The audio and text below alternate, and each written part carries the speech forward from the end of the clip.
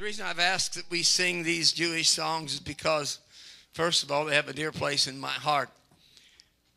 We never need to forget, we never need to forget that the early church was a Jewish church.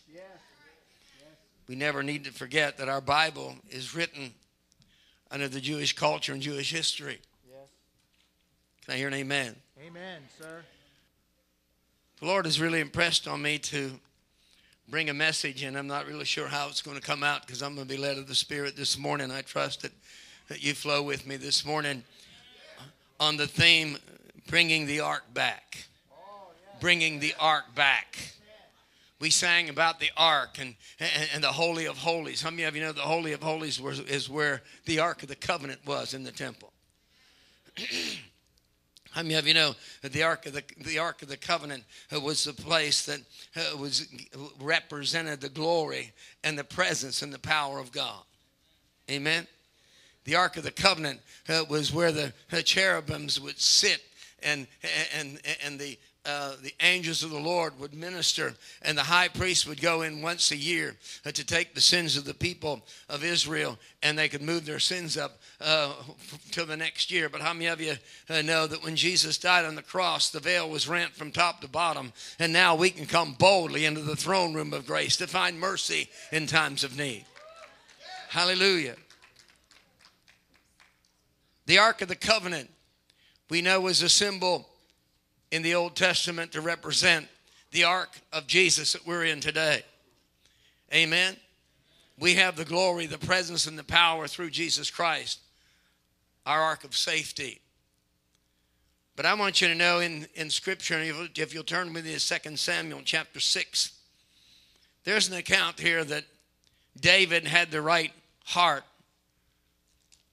but he didn't follow the right instructions. How many of you know you can have the right heart and still lose out on God's best?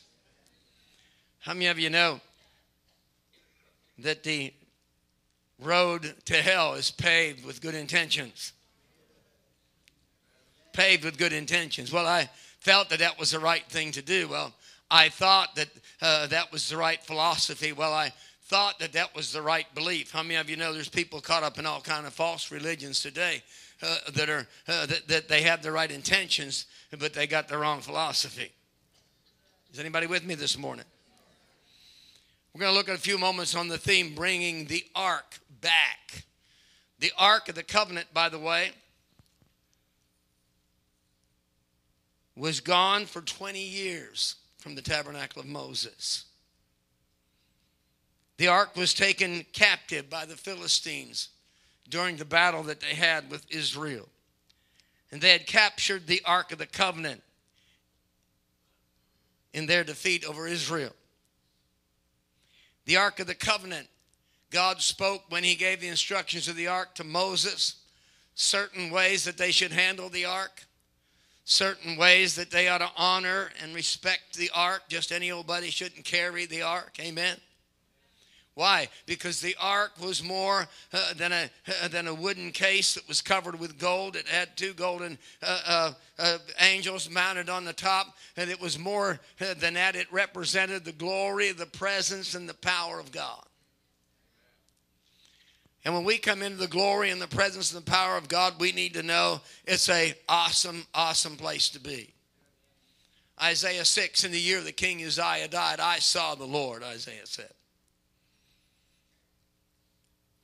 His train filled the temple. The glory of God filled uh, the, the, the, the temple of God. Isaiah felt and saw the glory, the power, and the presence of God. David's heart was right. David has a, had a heart pure after God. I love David because David, I can identify with David in so many ways in our own life. How many of you appreciate David? He made a lot of mistakes, but he was a man after God's own heart.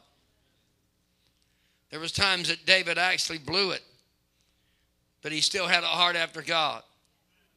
David's the one that cried out in Isaiah 51, "Oh God, create in me a clean heart. Restore within me the joy of my salvation. Take not your Holy Spirit from me." It was David. After the Ark of the Covenant was under the, under the control of the Philistines and had been captured, in battle against Israel, they carried it uh, to Ashdod, where the, the Philistines suffered because they had, they had the possession of the ark of God. They were ungodly Philistines. And after they suffered a while in Ashdod, having the Ark of the Covenant, the Philistines then took the Ark to a place called Gath. Gath was the second location that they put the ark. They said, well, maybe it'll be okay here. And, and, and because uh, they were ungodly Philistines, heathens, uh, they had the ark of God. There was much persecution that, that rested upon them. And they said, we must move uh, this ark again. So they moved it to a place called Ekron. It was first in Ashdod, then it was in Gath, then it went to Ekron. And they moved it there, but the same consequences took place where the Ark of the Covenant was under the control of the Philistines. There was always havoc and there was always problems that came, and the, that they wanted this ark moved. And so, after uh, it was causing trouble in Ekron, they moved the ark to a place called Beth Shemesh. And they experienced the anger of the Lord because they had the Ark of the Covenant. And so they moved it from there. This is the fifth place that they moved it to. Uh, they moved it uh, to Abinadab's house. And Abinadab kept the ark until David decided to go and bring the ark back. But David wasn't going to bring the ark back to the tabernacle of Moses where it was originally placed. David said, I'm going to build a tabernacle of David. And David went and he built a tent and he structured a tent to bring the ark back. And it's interesting because whenever it left the tabernacle of Moses, Ichabod was written over the door. Ichabod means the glory has departed. Sadly enough, there's churches all over our nation today uh, that come in, they have services, they sing their songs, they go through the ritual, but Ichabod's been written over the door. Because the glory has departed. When we want to set up our structure our way, when we want to do it our way, when we think we got the answer beyond what God wants to do, but when we exclude the anointing and the presence of God, and pretty soon we're just going through rituals, Ichabod is over the door. I know churches that Ichabod has been written over the door for 20 years and they're still going through the motions. Is anybody with me? But David decided he was going to bring the ark back. And if you'll look with me in 2 Samuel chapter 6, it said, Again, David gathered all the choice men of Israel, actually 30,000 of them.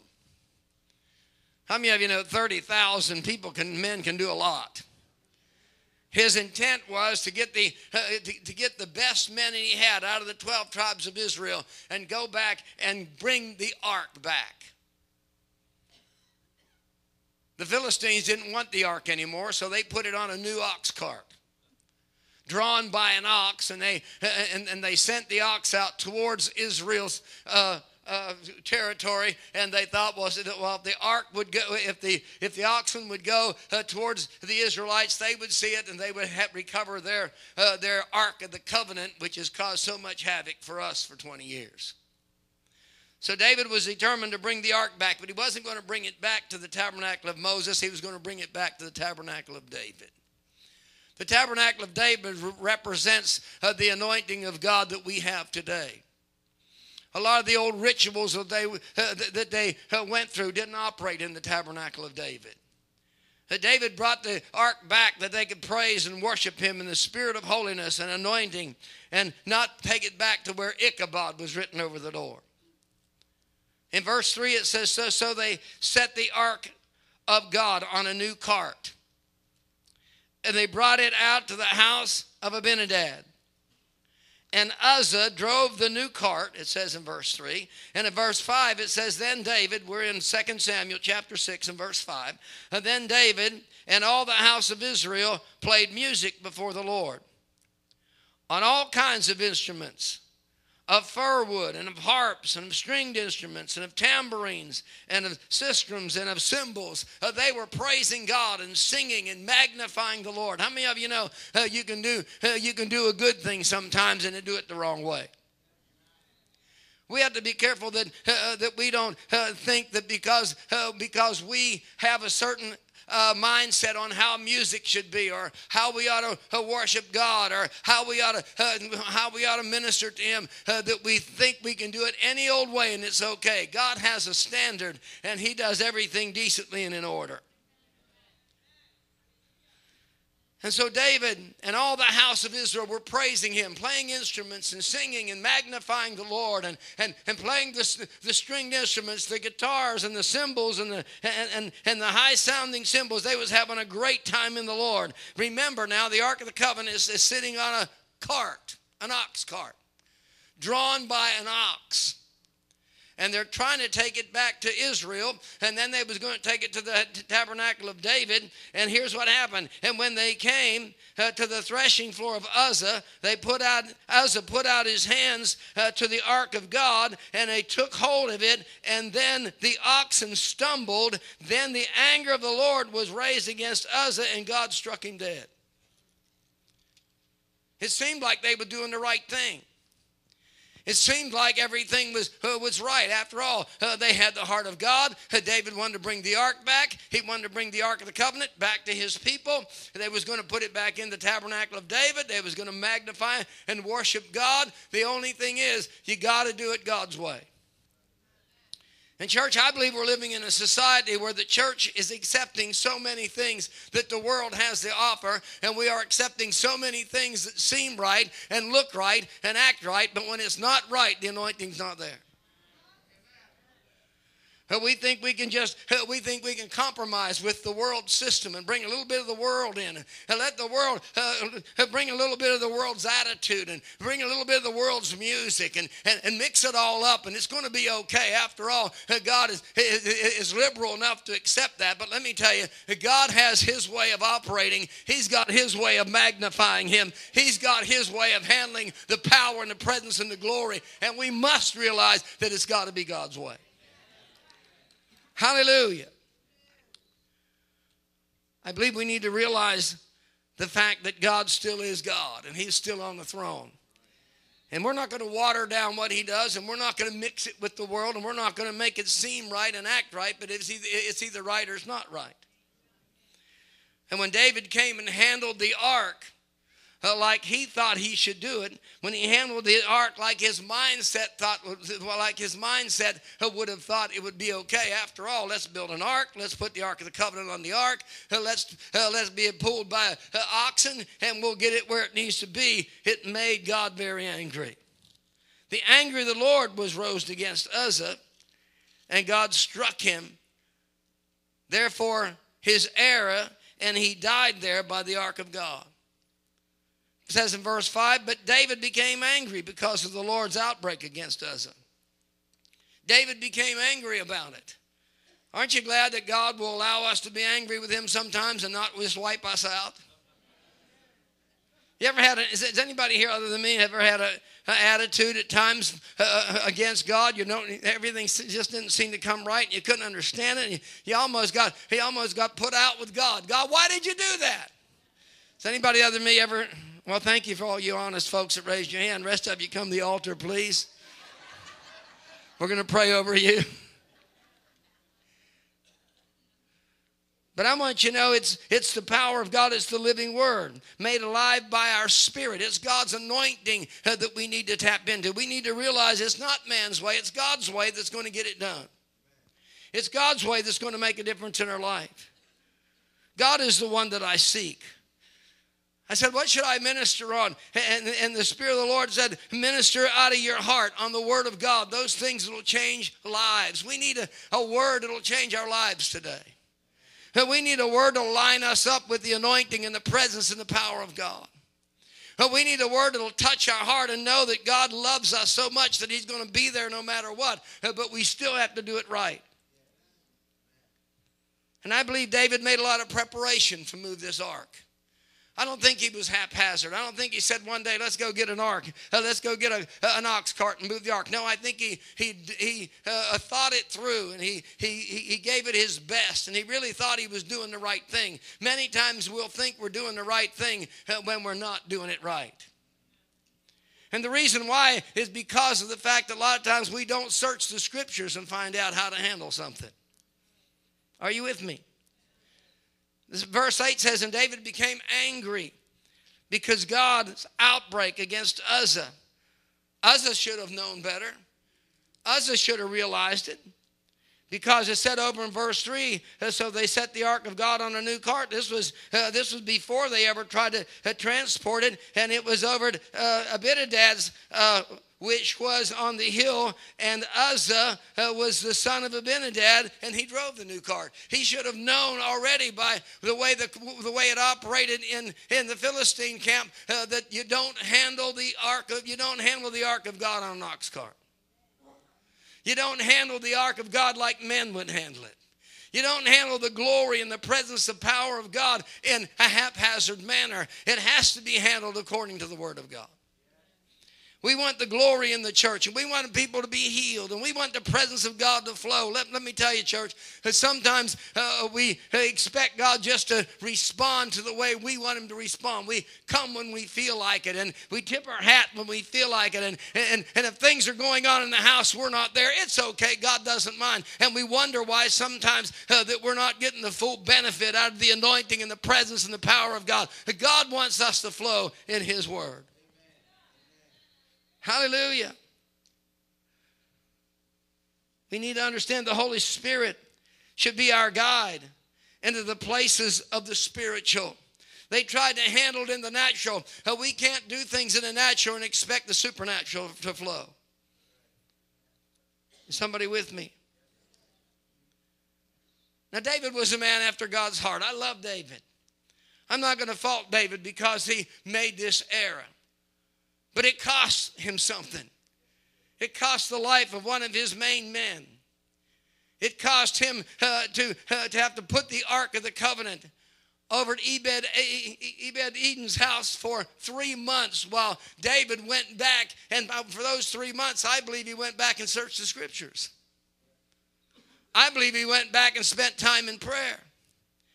I believe David went back and isolated himself and got in a secret place and says, Oh God, oh Lord, I wanted to do this and, and I thought I was doing it right, but what have I done, God? What have I done uh, that's unpleasing to you? And I believe God revealed to him that I spoke to my servant Moses and told Moses the only way the ark will be handled is by staffs going through the side handles of the ark and it'll be carried on the shoulders of the Levites.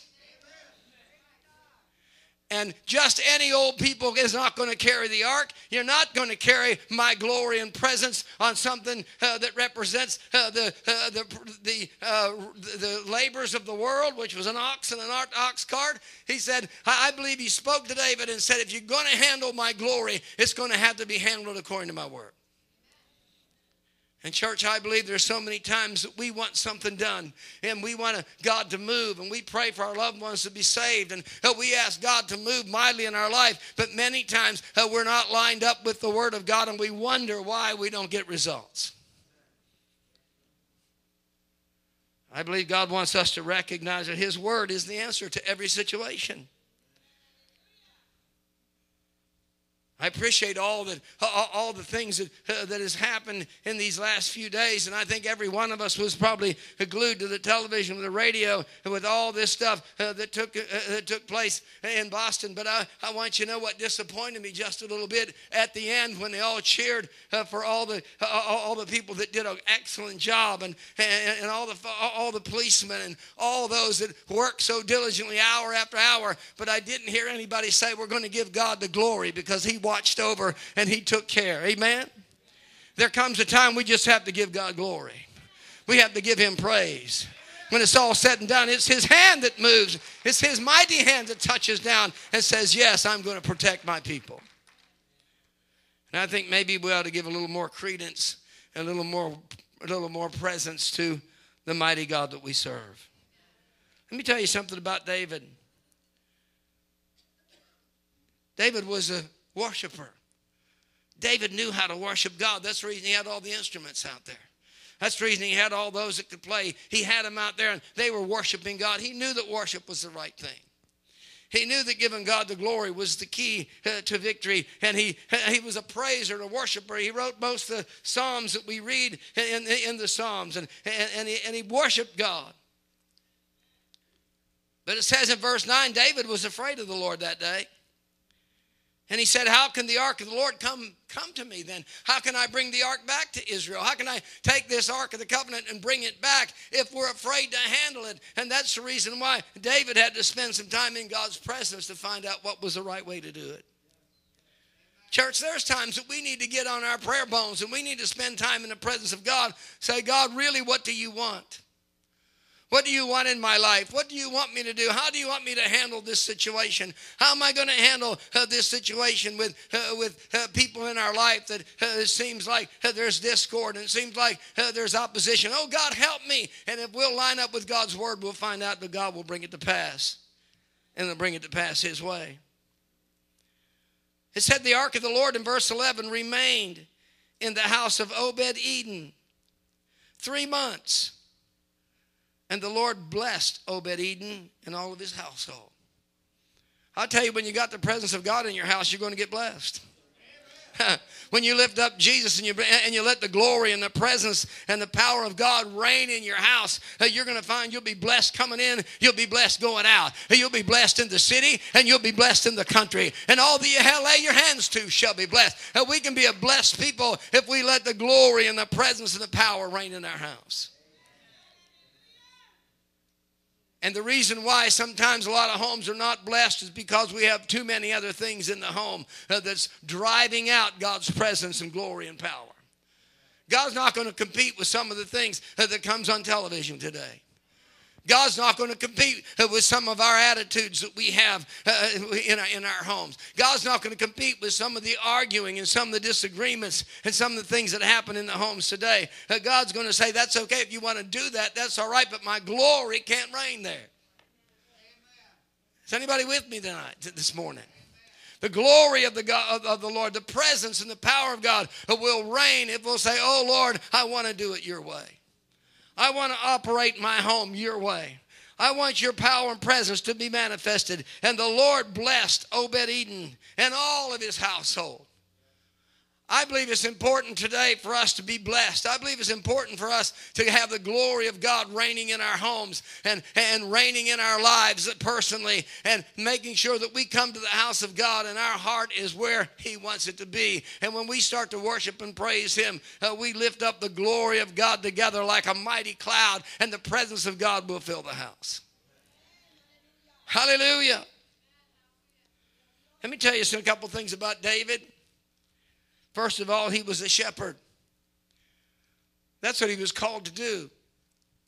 He came, he, he was a son of the, uh, of, uh, of, the son of Jesse in the household of Jesse. And, and he, was one, he was the younger son that went out and, and took care of the sheep. He understood the sheep, he understood the shepherd. And not only that, but the Bible says he was a servant. David knew how to serve, David knew how to humble himself. He knew how to humble himself before Saul, and he learned how to humble himself before the Lord. And then David was a leader. David was a good leader. He didn't only lead 600 mighty men that followed him because they recognized his leadership. Not only did he lead his, his troops uh, away from the danger of Saul chasing him uh, from one uh, cave to the other, but then when David moved into the place of being a king, he knew how to lead the people. And then, and then David was the man of the word. You could tell by the way he talked to God in the Psalms how he wrote the psalms and sang the songs of, of victory to the lord. And, and, and, and many of the uh, battles that he went through many of the things that took place in david's life he wrote the psalms over those different situations. You could almost uh, you could almost read the psalm and say oh i know where that came from we know the story where David was in Ziklag and he came back uh, from the camp and the camp was burnt to the ground and all the women and children were taken captive. His own men threatened to kill him and the Bible says David strengthened himself in the Lord. But he writes about it in Psalms 27 The Lord is my light and my salvation. Whom shall I fear? The Lord is the strength of my life. Whom shall I be afraid? Even though the wicked one might come to eat up my flesh, he'll stumble and fall. Though a host may encamp against me, I shall not fear. One thing that I've desired the Lord, that I've asked Him, that I would dwell in the house of the Lord all the days of my life. I will sing praises, yea, I will sing praises unto the Lord. David wrote that because of the experience that he had in Ziklag. Is anybody with me? He was a man of the word. And David was a man who says, who said this, search me, O Lord. Know my heart, O Lord, and see if there is any wicked way within me. Sometimes we need to cry out that, that, uh, that psalm. We need to say, Lord, search me. Lord, know my heart. See if there's any wicked way within me. Oh God, let your ways be my ways. Wicked way. This word wicked way, if you search it out, you'll find out it talks about sinister things. It talks about warped thinking, distorted thinking, a betrayer, one is underhanded, out of alignment. Oh, listen, uh, we know that there's people like that in the world today. We know there's people that are betrayers and, and, and underhanded and, and they'll hurt you in a heartbeat and they'll betray you if you put your trust in them and they're under and, and, and they're sinister people. But I want you to know uh, we can't let those kind of people stop us from being all that God wants us to be. I'm determined to be what God wants me to be. I'm determined to be lined up with His Word. I'm saying, Lord God, uh, whatever it takes, search my heart, oh God. Uh, search me, and you know me, and see if there's any wicked way within me. God's looking for the heart that transforms into His presence. I says, God's looking for a heart that will transform into his presence. I like what uh, David said in, in Romans 12 1. I beseech you, therefore, brethren, by the mercies of God, to make your bodies a living sacrifice, holy and acceptable unto God, which is only my reasonable service that I might serve him. And then verse 2 says, by the renewing of our minds. So we're constantly always should be renewing in, on our mind. How do we renew our mind? And not by the things of the world. Not by the things that we hear out in the street, but we renew our mind by the power of God's word. Lord, let your word come alive within me. Thy word have I hid in my heart, the psalmist said, that I might not sin against thee. And then the Lord blessed the house in verse 12. The Lord blessed the house of Obed Eden. So David went and he brought up the ark of God from the house of Obed Eden to the city of David with gladness. How many of you know when you make a mistake, it's time to repent? And after you repent and the glory of God starts to flow in your life again, it's time to be glad and rejoice. I'm glad we sang the, those exciting, rejoicing songs before I preached. You know why? Because we had the time of hearing God's voice.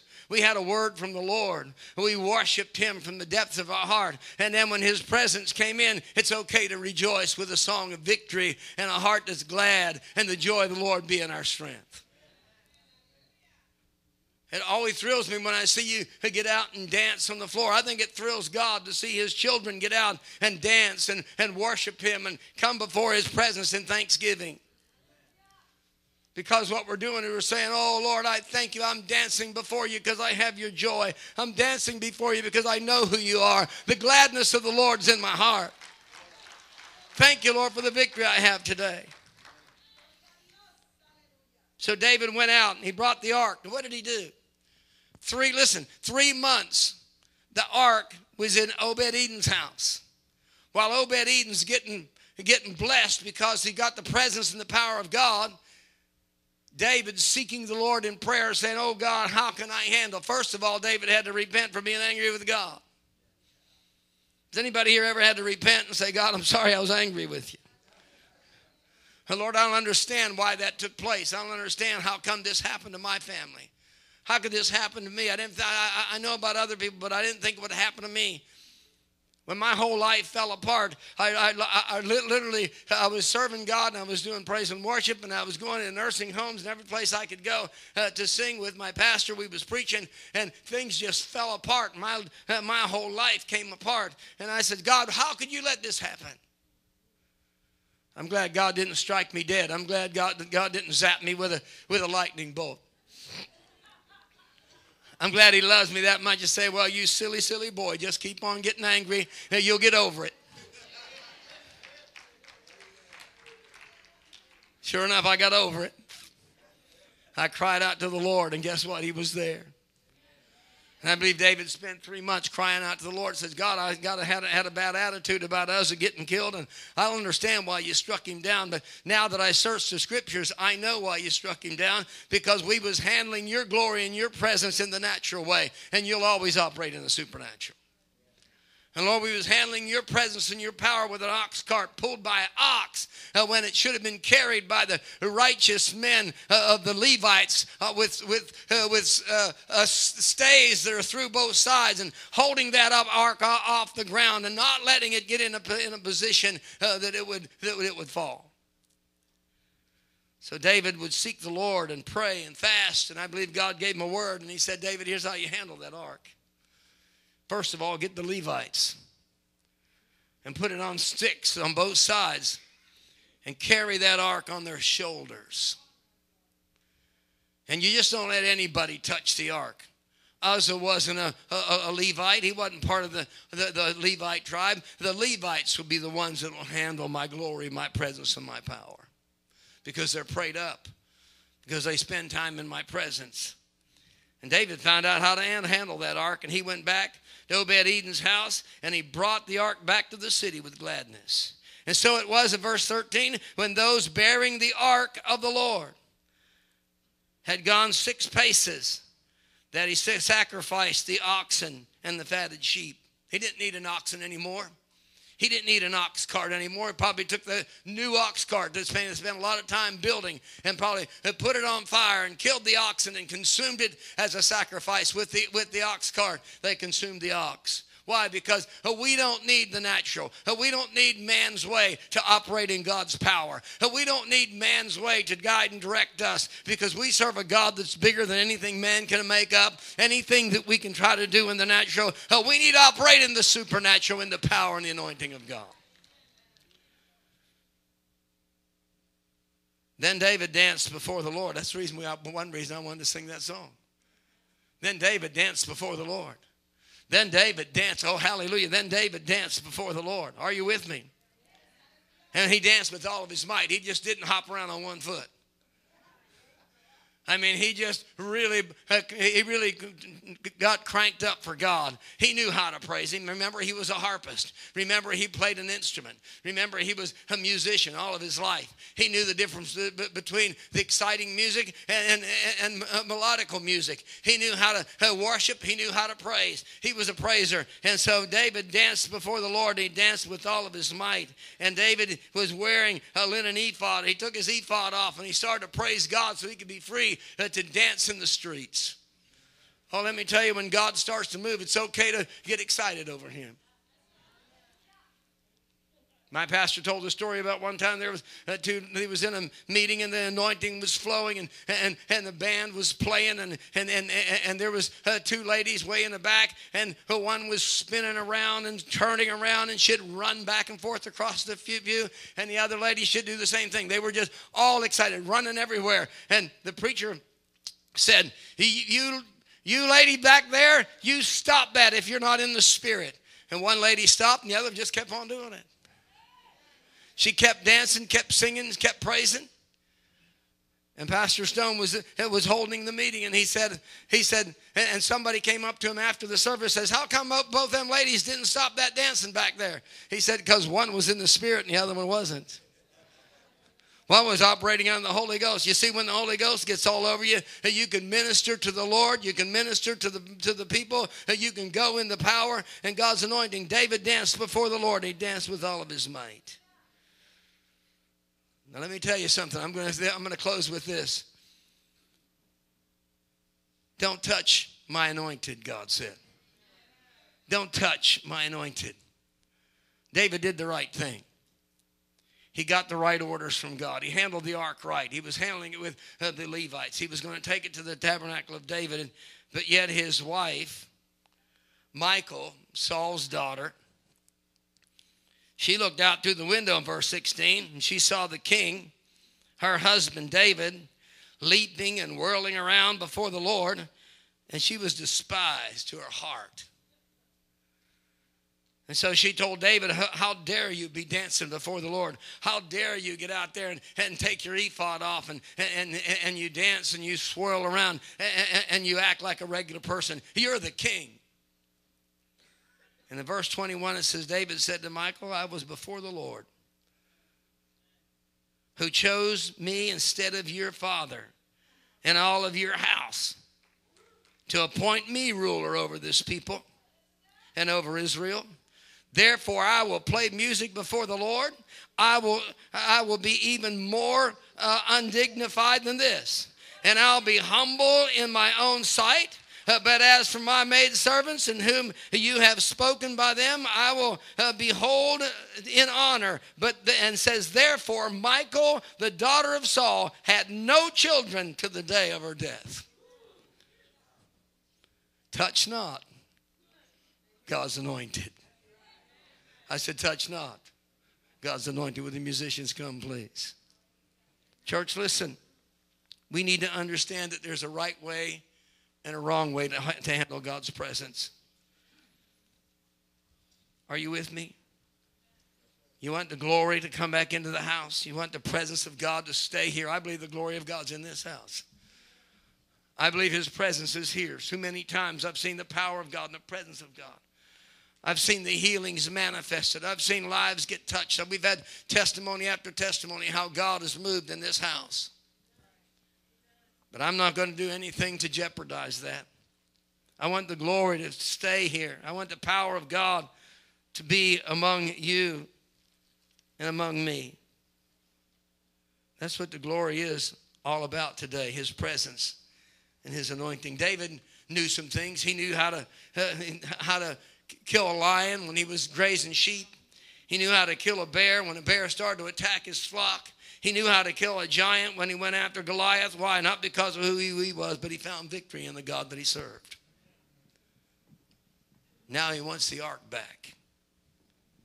And he found out he had to do that right too, just like he did the lion, the bear, and the giant. The ark left because Babylon tried to take it and fought it in battle and they thought it was a good luck charm. They thought it was a rabbit foot. They, they thought it would be, it would be a, a, a something that they could use as a psychic instrument. Uh, they could just call out to the ark and they could get they want, but they didn't realize that it was not a rabbit foot. It's not a good luck, luck charm. It has nothing to do with psychics. It's the anointing and the presence and the power of God. And I pursue it, and I'm desperate for it. And I want to see God move in a mighty way. And I hope you have the same desire to see God's presence in this day. Church, we know what's all going around in our land. We know the pressures it seems like we're in and the people are going through all over the country because of circumstances and the world just closing in and uh, gripping like a vice. But I want you to know my God is bigger than all that. And He'll see you through and He'll be there for you. And He'll carry you to the next place of victory because He's a God of more than enough. Somebody with me?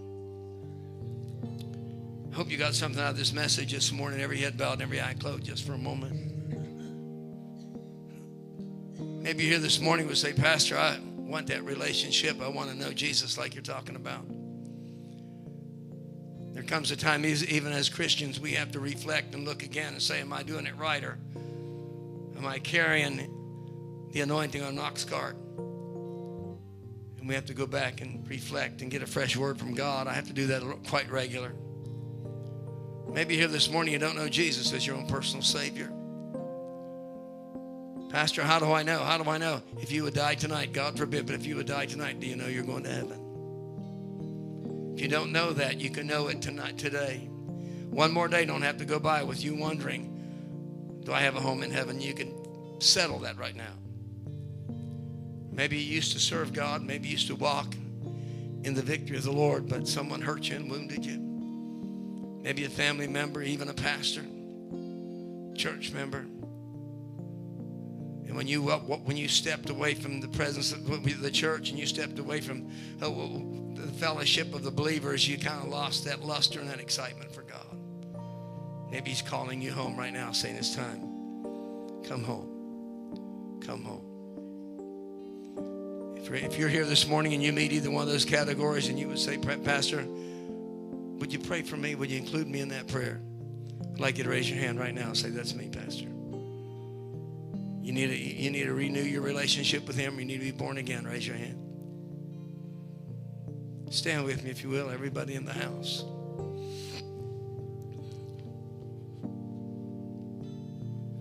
Would my elders come forward, please? And maybe there's somebody here that needs a healing in your body. Maybe there's somebody here that needs a fresh touch from the Lord. Maybe you need somebody to pray that you're burdened with a loved one that's not saved or a friend that needs, excuse me, needs Jesus. This would be the time for you to come. Where two or three are gathered together in my name. Scripture says that if two or three shall agree, touching any one thing, it shall be done.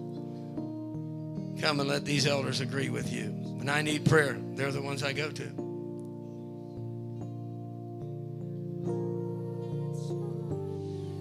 The altar's open. We'll be closing in a few moments.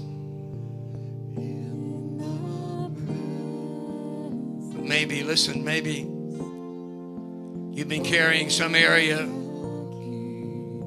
of your, of your Christian life on an ox cart. It's time to say, Lord, I want to handle this right. I, I want to handle it right.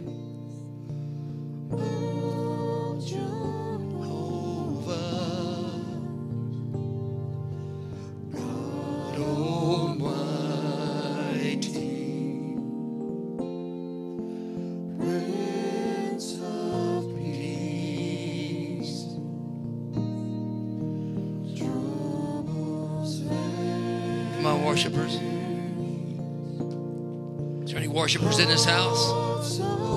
Anybody would just worship God for a few moments like David did when he was bringing the ark back the second time? He knew things were right. He knew his heart was right. He knew he was handling God's power and presence right. Said he worshiped God and praised him with all his might. If you have a need, come.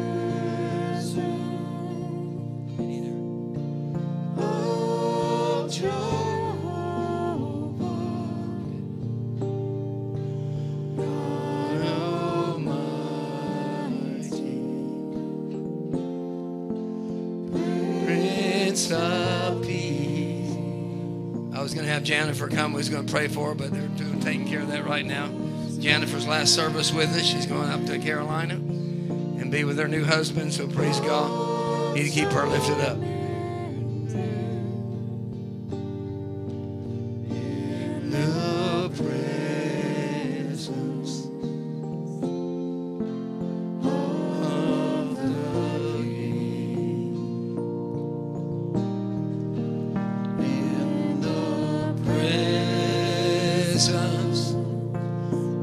Presence of Jehovah. Of Jehovah. God Almighty. God Almighty. He's the Prince of Peace. Prince of Peace.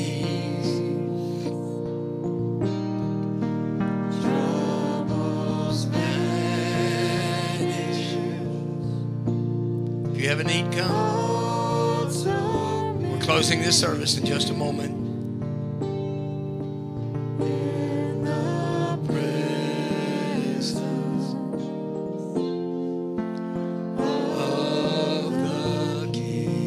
In the presence of the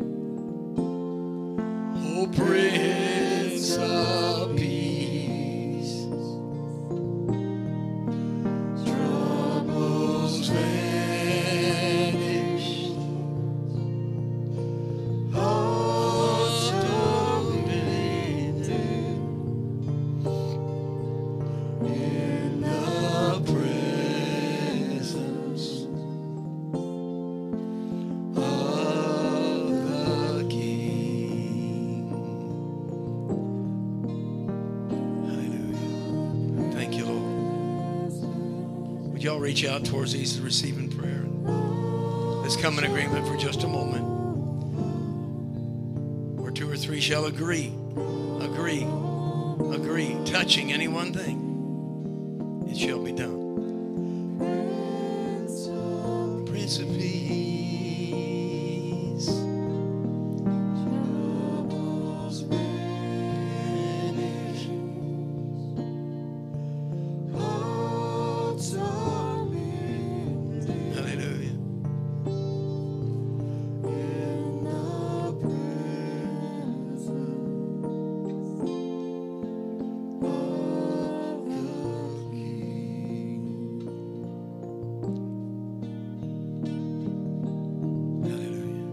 many of you received the word this morning?